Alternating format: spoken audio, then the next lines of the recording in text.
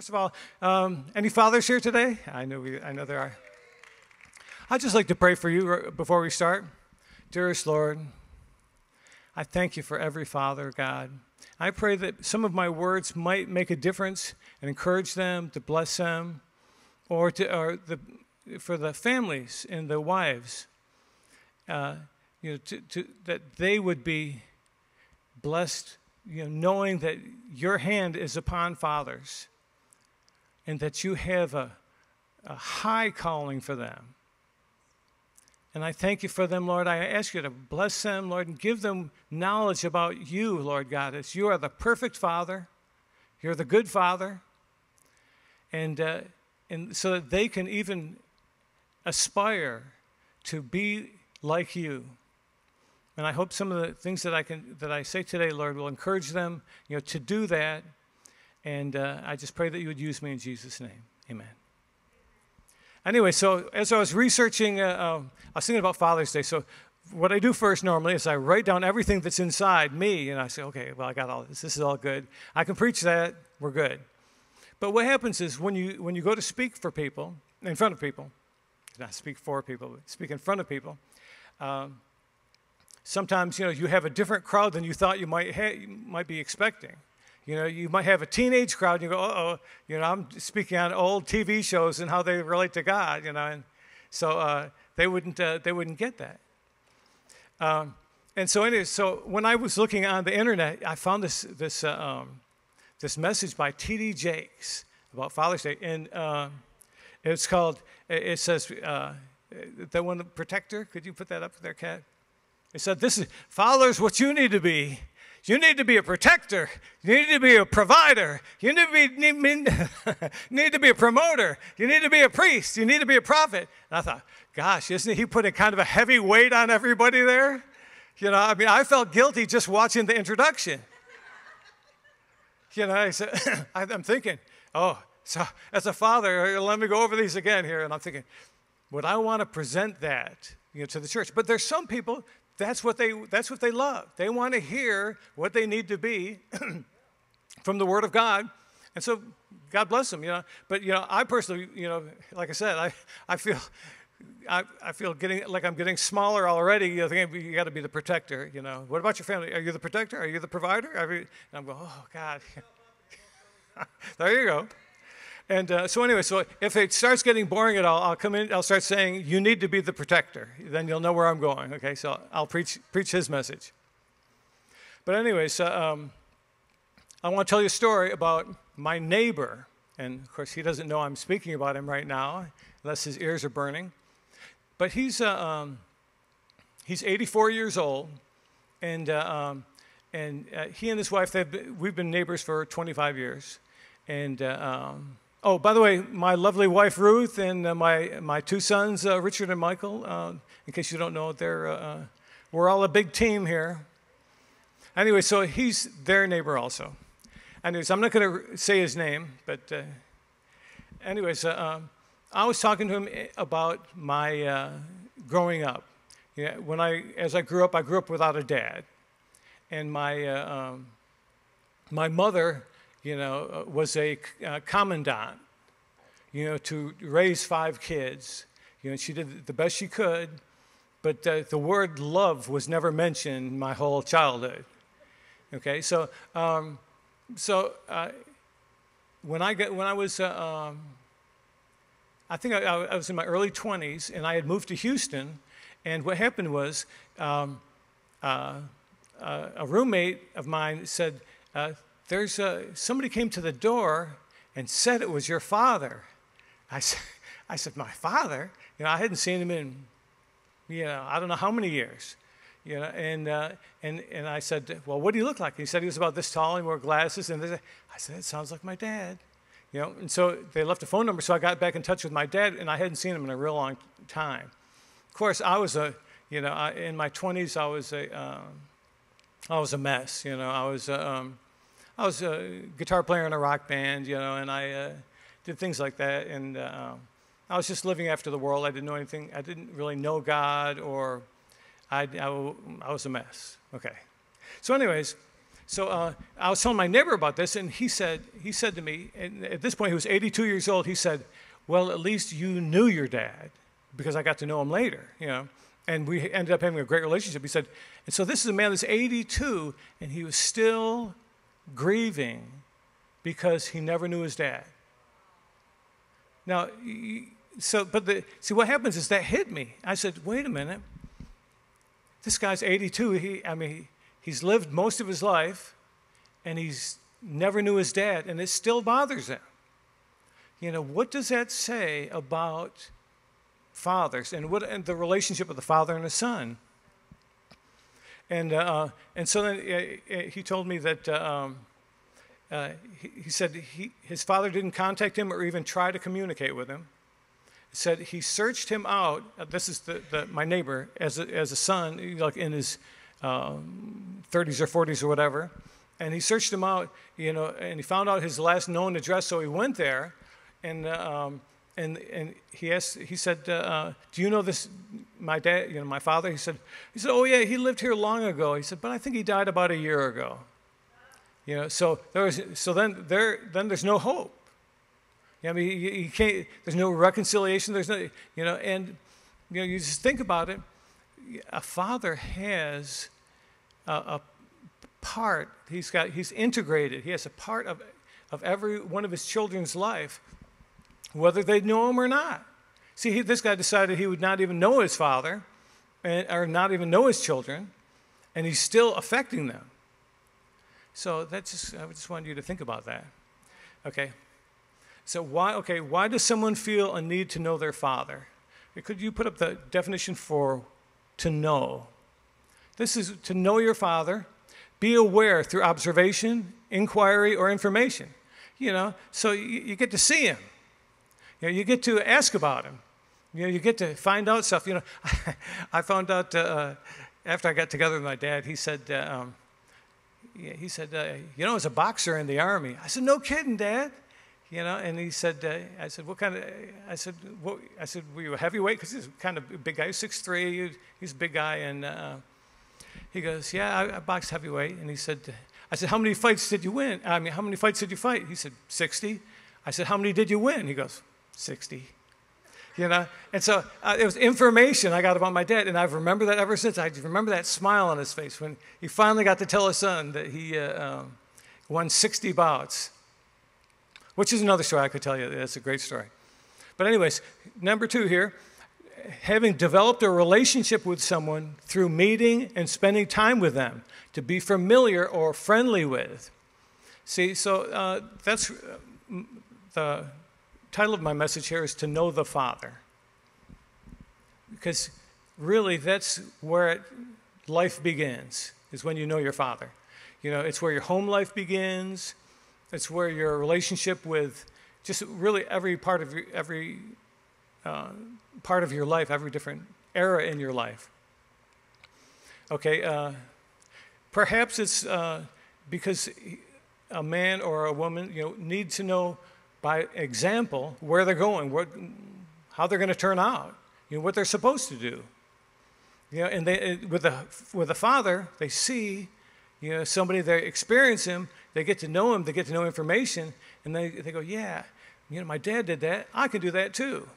Or they say, you know, or they might say, you know, no, my dad was some great, you know, um, person that did all this, you know, what can I aspire to? So, you know, it's a two-edged thing. You know, you, to knowing somebody is to be familiar with them, and then you, you get the blessing from it. You get the, the enjoyment. I was watching a, uh, um, a, uh, a, a, uh, YouTube video. No, it wasn't YouTube. It was a. Uh, it's one on a video, Prime Video or whatever. It was about this uh, young guy whose dad was the producer for um, all that German music that came out in the 80s, uh, Kraftwerk, and all, you know, they had a beat, boop, boop, boop, boop, you know, and they'd be singing. The, it's kind of like before punk rock. And, and this guy made all these albums. He made that one, you know, Sweet Dreams Are Made of These. You know, he made all these big songs that were big in the world. And but what happens is there's this guy and he's going around and he's talking to these people that worked with his dad because even though the guy had his studio in his house, he didn't really know his dad. His dad didn't really care about him. so, he, so this whole movie, this whole video, uh, hour and a half uh, movie or whatever, is this guy going around trying to find out about his father. You know, and this is just, I just, just watching this the other day, I thought, man, I said, there's a guy, he lived at home with him, you know, his mom took care of him, but the father was working in the studio, which was at their house, and they had all these famous stars coming by, and they were recording all these big hits and stuff like that. But the father wanted to do his own thing. You know, he wanted, he was, and, and, and he died at an early age. You know, I think, well, when the, when the guy was uh, um, uh, 30, you know, the guy who, who, the son was 30 is when his dad died. And so, yeah, um, you know, he, I guess he, maybe he was hoping he might connect with him at some point, but he didn't because his dad died. So he made this movie to try to um, find out about his dad. But, you know, there's still an emptiness. You know, there's still a space where, when the father's not there, when the, he doesn't know his father, you know, uh, there's an emptiness. And uh, uh, so that's all I'm saying is dads, you know, and uh, spouses, you know, when you talk to your husband, you got to let him know that he's important, you know, and that it's not just uh, if he's a success or not, and it's not how much money he brings home, and it's not uh, um, how much he weighs, You know, it's, it's, it's, you know, if he's not a spokesmodel or whatever, um, that's all right, you know, because he's got a, a, more important job. He's got a higher calling. Okay, um, so I'll keep going here. So I'm, st I'm still like throwing stuff in the air here. I'm just, I'm seeing where I'm going to go here. Um, uh, okay, how is a person to prioritize things in their life, you know, uh, uh and, and so that they can trust, you know, that they're doing the right thing and trust their inst instincts, you know, to, uh, without some kind of a model. That's what dads are. They're a model. And moms are too, but for guys, the dad's the model, you know, and the mom's a model for the son, the mom's a model for the kind of woman he wants to marry. You know, and for the, for, for the, uh, um, for, for the girl, for the, you know, the girl, the daughter, thank you, it, um, the father's going to be the kind of guy that she wants to marry. So, I mean, there's all sorts of this interacting, all this connection. And uh, um, so, fathers, you know, your job is very important. And uh, um, you need to be a provider.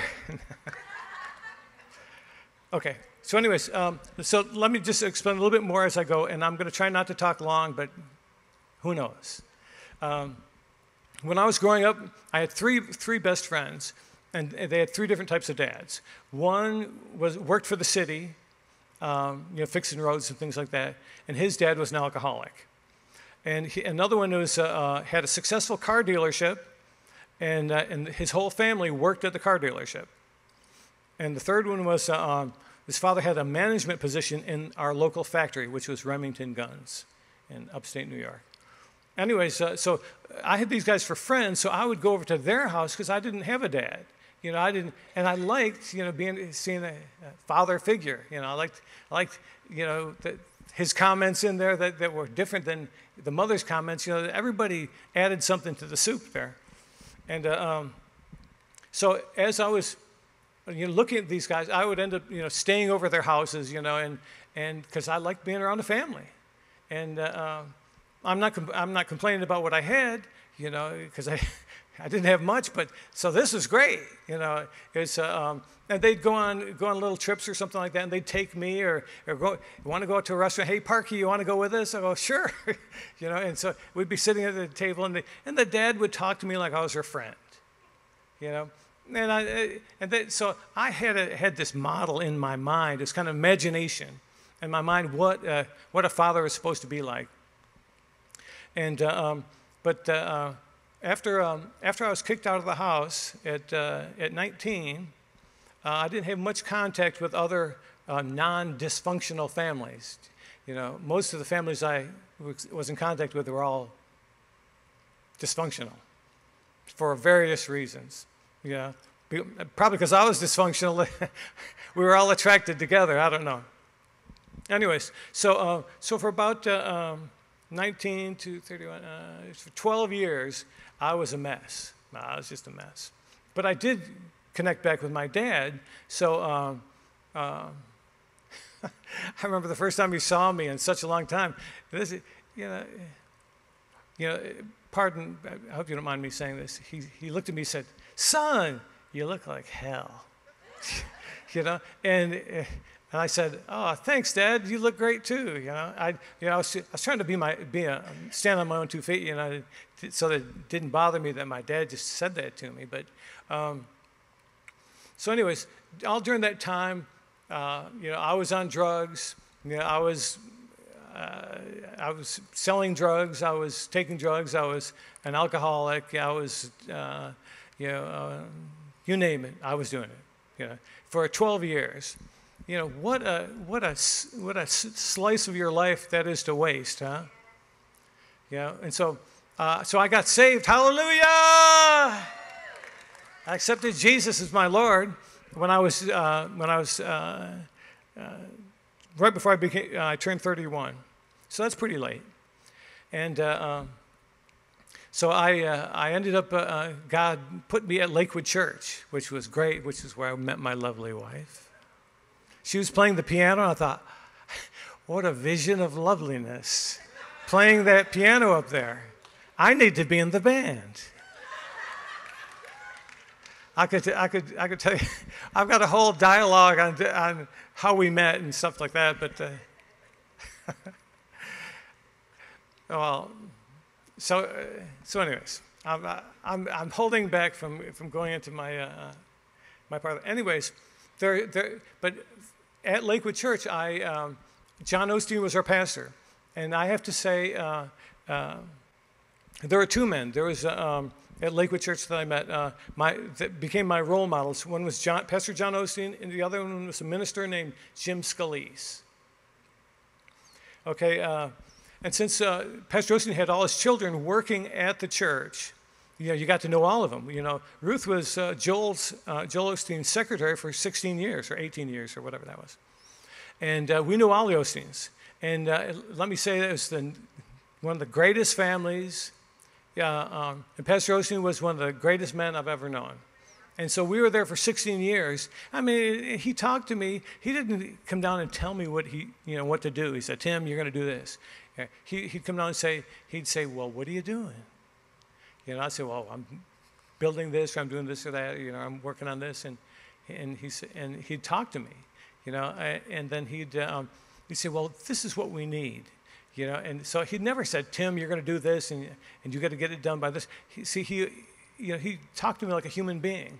So anyway, so, uh, and I saw that he was talking to me the same way he talks to his son, or, or he talks to his daughter, or he talks to his son-in-law, or he talked to um, the, uh, the staff people, or he talked to the other ministers. He was talking to me the exact same way. I thought, hey, there's something here. I said, and, and later I found out he was being a father. See, you know, a father doesn't always tell their kids what they need to do. Sometimes he, you know, at, a certain age he does, but later on he'll say, "So what are you doing?" You know, say, and uh, or they'll say, "This is what this is what we need." You know, this is what I'd like to do, and then he leaves it up to me, you know, to, to try to add to add to it. You know, so I, would say, well, if you want me to do that, okay, I'll do it. No, I'd say, well, can we do something? And I tried, and I would imagine bigger, you know. And he'd say, yeah, because he knew how to be a father. Anyways, um, uh, and so what sets a man apart as a father? Uh, and so rather than starting with uh, being a protector, no. Um, what sets a man apart as a father, I just got one thing. Okay, so if you take anything home with uh, from this, this is the one thing a father needs to be, and it's got something there integrity.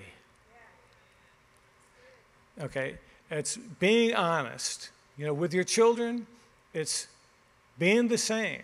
You know, you don't live one way and you know one place, and then you live another way at another place. You know, Ruth and I were at, uh, um, I, I, just remember how these things happen as I'm speaking here. We were at Papa Pappasitos and we were eating in, uh, um, and we, so we were just hanging out. This is before we had the boys. And, uh, um, and so uh, later uh, the waitress came and he said, this man over here is, uh, um, wants to pay your bill.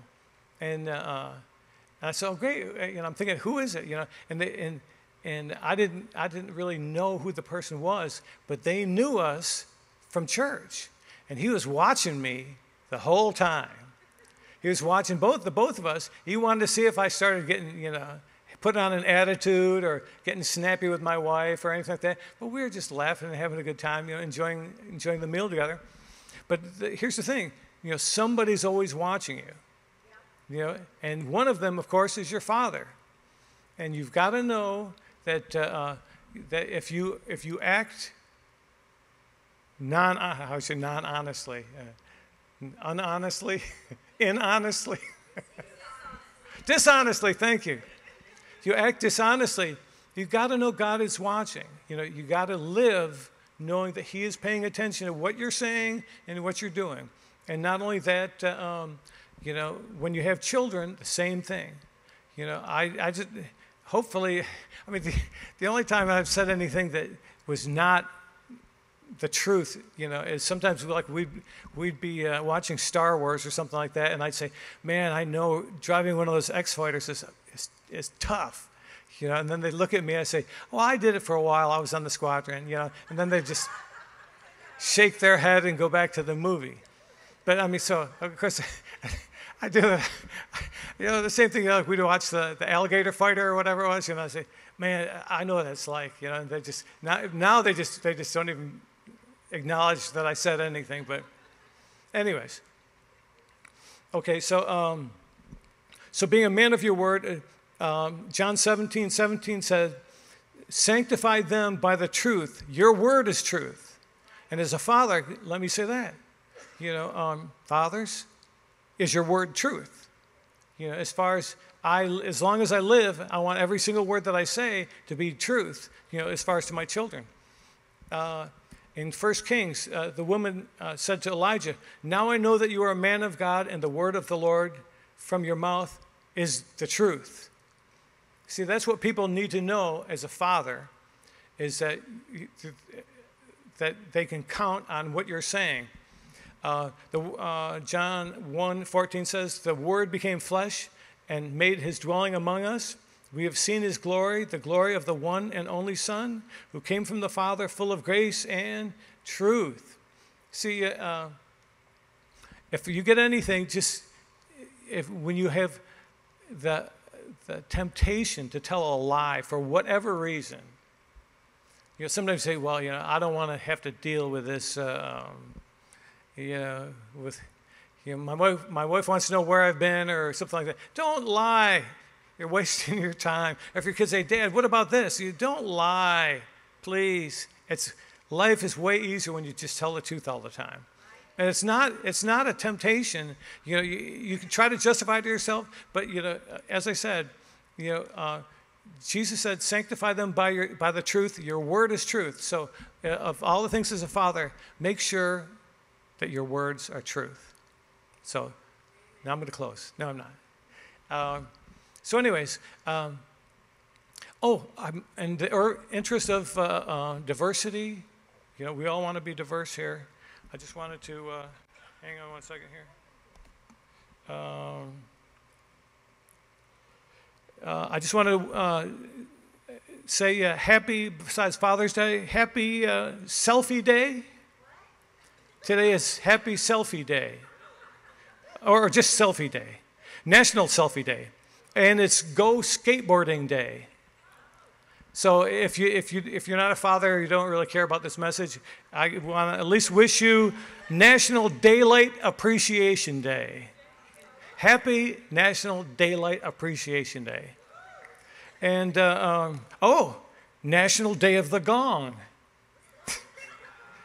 Today. Today is National Day of the Gong. Okay, and uh, oh, National Peaches and Cream Day, National Turkey Lovers Day, and finally, National Arizona Day. So, so uh, that's what your government spent time doing is declaring these days National Turkey Lovers Day. Okay, uh, in case you didn't know, you know, uh, Father's Day hasn't always been um, a national holiday. Does anybody know when it became a national holiday? Or if Dr. Tim, I'm sure he knows, but um, actually, strangely enough, it didn't become a holiday until 1972. You know, what happened is uh, back, back in 28, Woodrow Wilson uh, gave, uh, declared a National uh, Mother's Day. And it was Mother's Day for 58 years, and then they finally gave, gave Fathers a Father's Day. So it's not, it's not all that new. Um, uh, as you see, what I'm doing, I'm juggling right now. I'm trying, I'm, I'm seeing where I want to go. And uh, um, I think it's time for a video. Okay? Um, and so this, strangely enough, if you look on YouTube, uh, the, uh, um, and you look up great dads, you'll see a zillion videos of one thing, and that's dads saving their kids from bashing their heads in. Okay? So anyway, so, so we're gonna we're gonna watch this just for a second. Turn up the audio, please. Whoa! Whoa, that was close. Oh, Daddy! Daddy! Daddy! Oh my God! Daddy!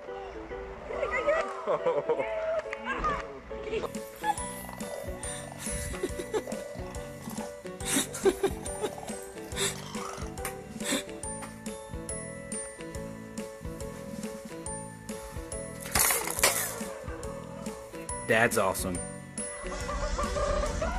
Watch this one.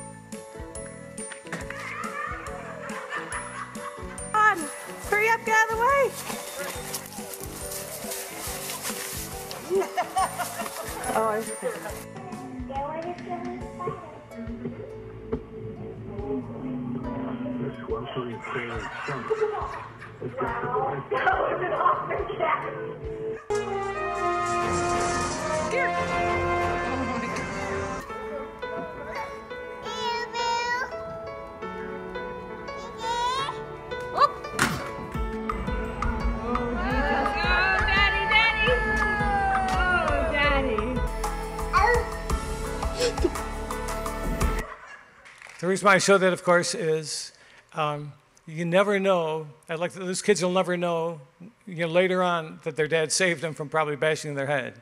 Um, and uh, how many times has God done that for us? You know, I remember uh, one time uh, uh, uh, Ruth and I just pulled in from eating, uh, having lunch, and, uh, and, and somebody came over and said, Boy, you guys are lucky. I said, What are you talking about? You didn't see that truck nearly hit you just then? Yeah, and uh, um, we just turned, and I mean, we, I, didn't, I didn't even know the truck existed, you know. But uh, um, God does that for us all the time. He protects us, you know, and I was just showing that. Now, here's another, just another thing about dads. See, um, so I'm going with the, uh, the feeling good thing about Father's Day, because there's, so, uh, so this next video thing here is, um, uh, I think is a great dad, okay? Now, He might not be a world famous dad, but you can tell that he loves his daughter. Okay, go ahead, here's this next one here. 21, New York High School 35.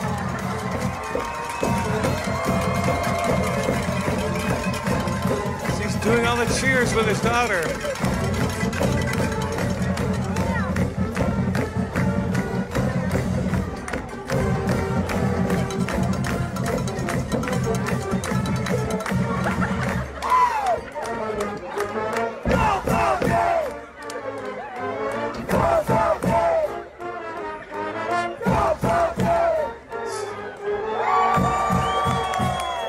So, so who wouldn't want a dad like that?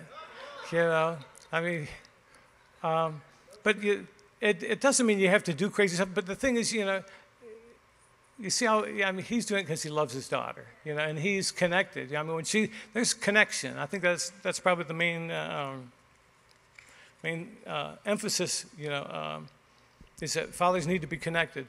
Um, and I have a- I have a whole bunch. I've got like a whole thing of facts. You know, that are, to me, facts are interesting. Now they're not necessarily interesting to everybody else, you know, and, and it gets long after a while. So I'm not gonna, I'm not gonna do all the, say all these facts here, but um, let me see if I can find one here. Um, I'll just, I'll just start. I'll oh, go ahead, and put them up as I read them, Kat, and I'll, uh, um, and I'll, uh, uh, I'll shorten it here. I'll tell you by the number here. Okay, so. Okay, number one, fathers and infants can be equally as attached as mothers and infants. When both parents are involved with a child, infants are attached to both parents from the beginning of life. Number two here, father involvement is related to positive child health outcomes in infancy. Number three, uh, father involvement using authoritative parenting, loving with the clear boundaries and, and expectations, leads to better emotional, academic, social, and behavioral outcomes for children. And uh, let's go uh, to number four here. Children who feel a closeness with their fathers are twice as likely as those who do not enter college or to find stable employment after high school, 75% less likely to have teen birth, 80% less uh, likely to be, spend time in jail, and half as likely to experience multiple depression syndromes, symptoms. So, anyways, there's, there's 10 of them. I mean, they're all, to me, they're fascinating. I could just read them and, you know, go on and on. But, uh, um, and, and, it's all it's all great because fathers are so important. But uh, uh, uh, the results of uh, an absence of a father uh, is nothing short of disastrous. And I'm just going to read these real fast. Um, and the reason why I um, the reason why these were important to me is as I was reading them, I realized this is all the stuff that I suffered from, from not having a dad. You know, uh, may, maybe not, you know, chronically or whatever you call it, not yeah, it wasn't. Uh, but let's go, just, I'll read them really quickly here. Emotional insecurity, behavioral problems, truancy and poor academics, delinquency and youth crime, promiscuity and teen pregnancy, drug and alcohol abuse, homelessness, exploitation and abuse, abuse and emotional maltreatment, physical health problems, mental health disorders, life chances, uh, future relationships, and mortality. It said that, that people who grow up with a father uh, live, since they, take, they, they count all everything now, they live four years longer than people that, that grew up without, without a father. Yeah, so it's a, uh, but I, like I said, I, so I, I read all these things, and I said, gosh, I said, you know, yeah. when I met Ruth, see it says life chances there.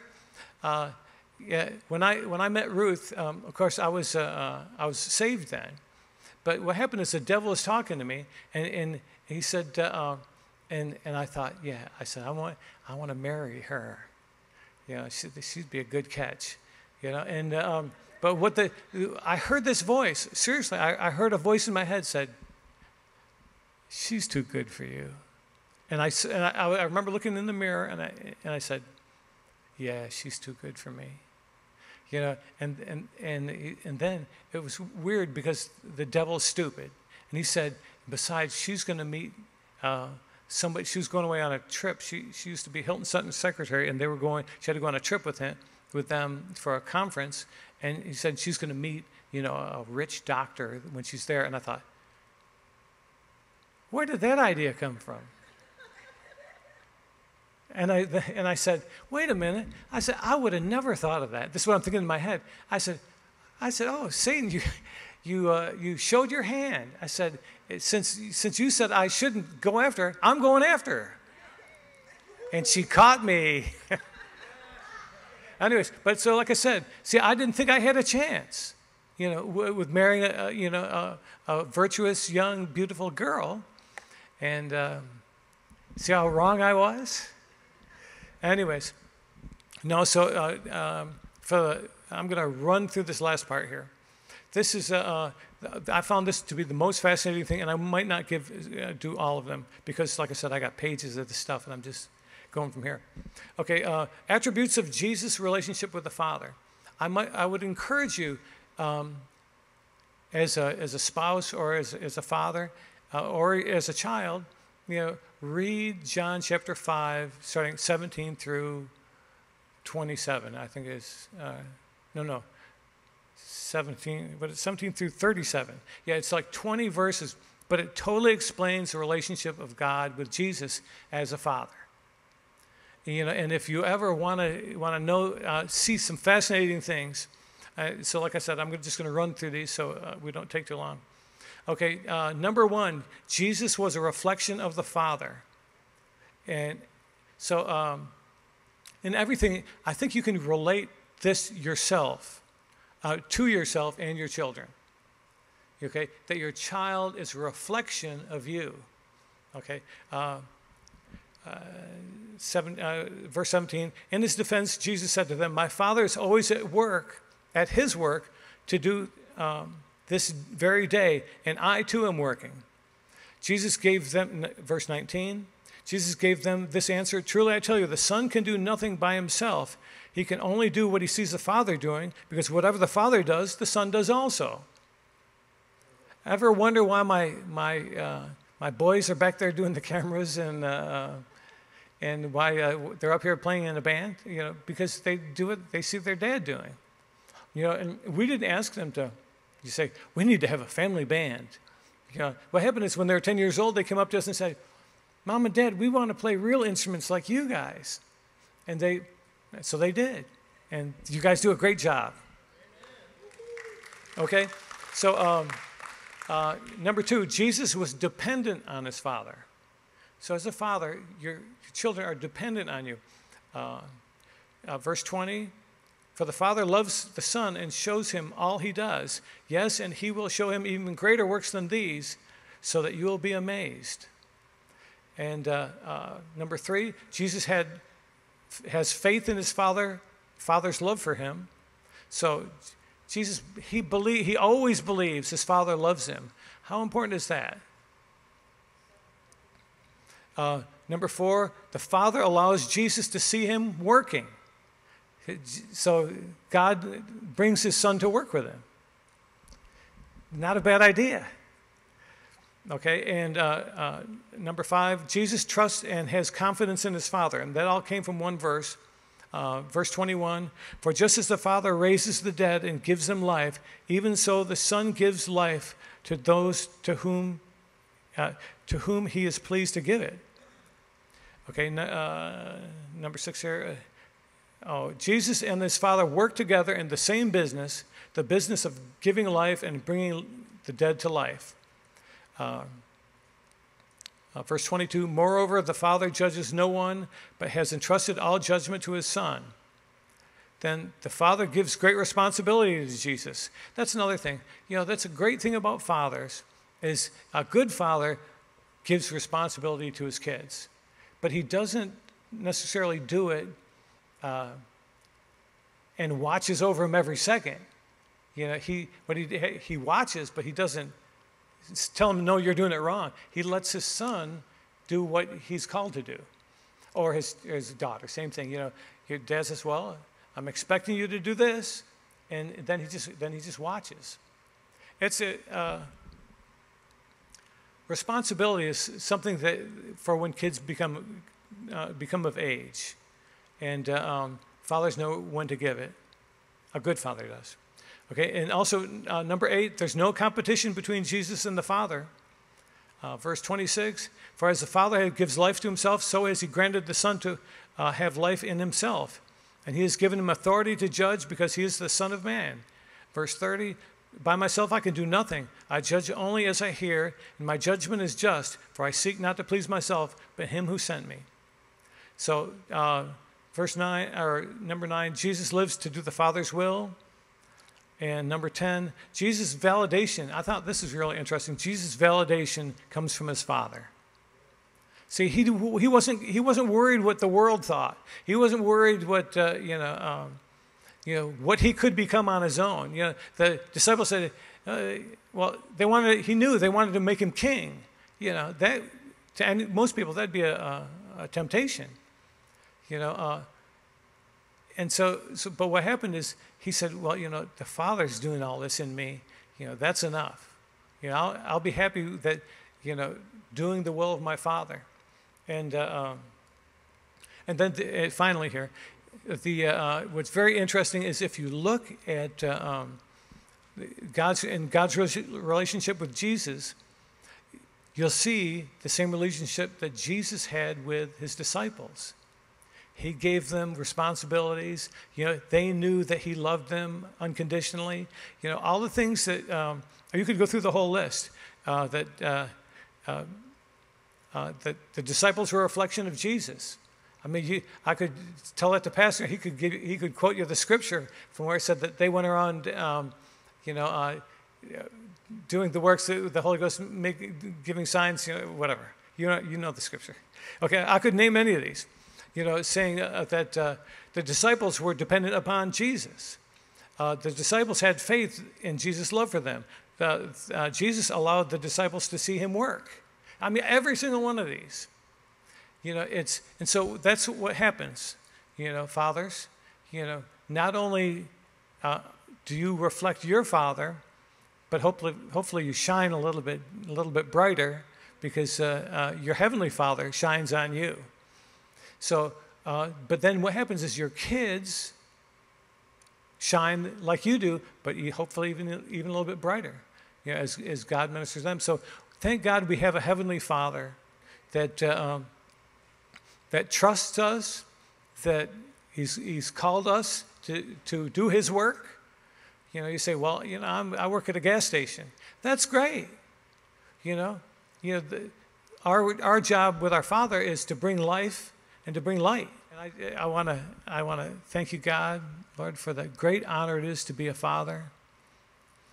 And uh, it's your word says that children are an inheritance from you, and blessed is the man whose quiver is full, Lord. And uh, after you and uh, and my relationship with my wife, my relationship with my children are the most important thing of any of all the things in my life. It's you and my and then my my spouse and then my children. And I thank you for our God. I thank you that you have given me guidance to, to be a father. I thank that you, thank you that you give guidance to uh, to everyone that that asks you for help, asks you for wisdom, asks you for guidance because that's the kind of God you are. You're a good, good Father. And Lord, you and I thank you for the greatest days to come for families, Lord God, in this country. I thank you, God, for uh, godly leaders, Lord, that represent fathers to their nations, Lord God. I thank you that uh, that we have uh, a father in the White House. We have a father in the governor's mansion. We have fathers, not just natural fathers, but uh, also spiritual fathers that get the guidance from you and, and, and do what you've called them to do to lead our country, Lord God. And I thank you for restoring marriages, Lord God, restoring relationships, restoring, uh, yeah, for even for, uh, like with my neighbor who didn't know his dad, for people in their coming into their lives to, to be fathers for them, Lord God. Just as uh, uh, Pastor Osteen and Jim Scalise were a father to me uh, back then at Lakewood, Lord, I thank you that you send fathers to those who are orphans, Lord God. Yeah, and I ask you, and I thank you for it, for your glory, Lord, in the name of our blessed Lord Jesus Christ. Amen.